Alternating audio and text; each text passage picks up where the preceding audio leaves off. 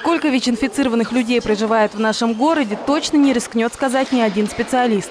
Дело в том, что скрининг населения не проходит в полном объеме. Поэтому, говоря о цифрах, медики фиксируют лишь выявляемость вируса иммунодефицита. По данным областного центра по борьбе со СПИДом, число носителей ВИЧ-инфекции за последнее время увеличилось. Сейчас их 1340 человек по области. В сравнении с прошлым годом, с января по май, выявлено на 12 случаев больше. Этот рост специалисты прогнозировали, поскольку в лабораторные исследования внедрили новые новые системы по выявлению опасного вируса.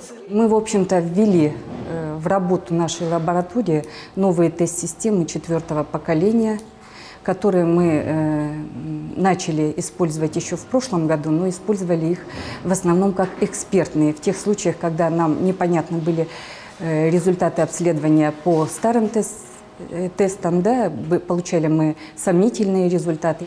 Раньше специалисты использовали тест-системы российского производства. Зачастую результаты вызывали сомнения. В таких случаях на помощь приходили высокочувствительные американские тест-системы четвертого поколения, которыми медики остались очень довольны, поэтому было решено перейти на повседневное применение нового инструмента для диагностики ВИЧ-инфекции.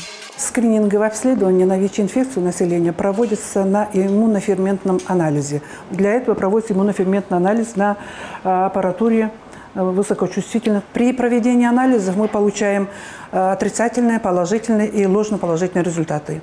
С целью исключения вот этих э, ошибок э, мы применяем высокочувствительные тест-системы.